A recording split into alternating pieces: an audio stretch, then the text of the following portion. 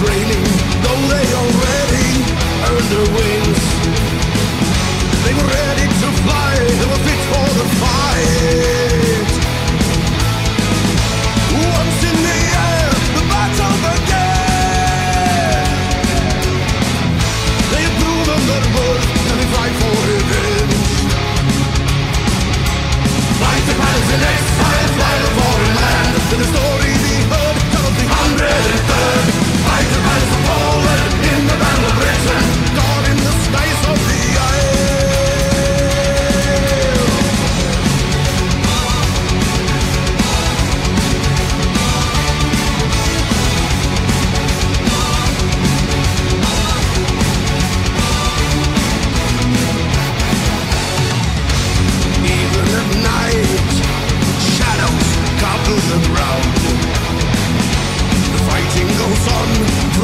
Till